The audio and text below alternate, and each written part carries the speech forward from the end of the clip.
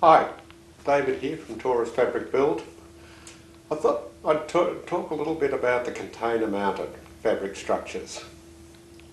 The containers can come in really handy.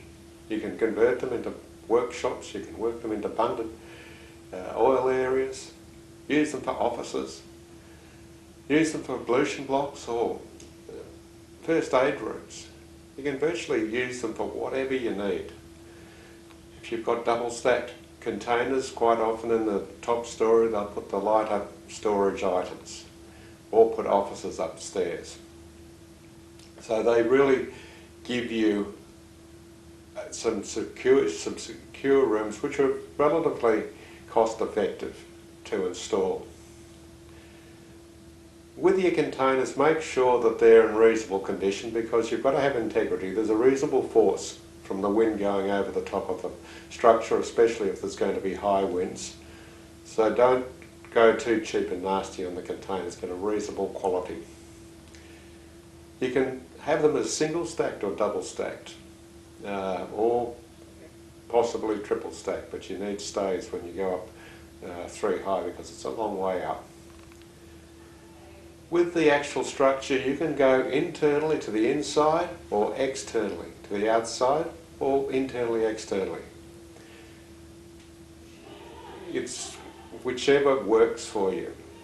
Uh, you can weld the, the brackets directly onto the top of the container or else you can look at having rails. Either weld-on rails or rails with a twist lock which just lock straight into the container ports on either end of the container. On a 40 foot container you will have one weld in the middle just to support it in the middle. With your end walls you can have a partial end wall which will just fill in the, the arch.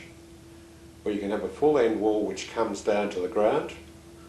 Or you can have a the containers up against the back and have the partial end wall coming down to the back or coming down one or the the two containers. It's totally flexible how the end walls are arranged. And the same with the doors on the other end if you want doors.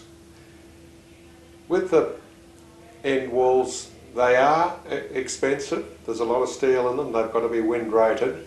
Sometimes it's worth making your structure an extra container longer, an extra six metres a container, so you've got a longer roof section to stop the, the rain coming so far in.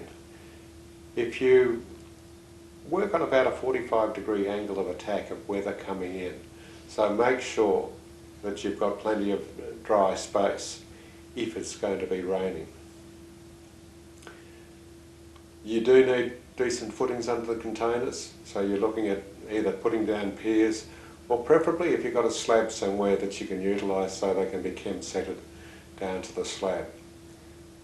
But you'll find that they're low maintenance, the container shelters, and being able to use the shelters for a multitude of purposes really makes a very useful structure which can be moved in the future.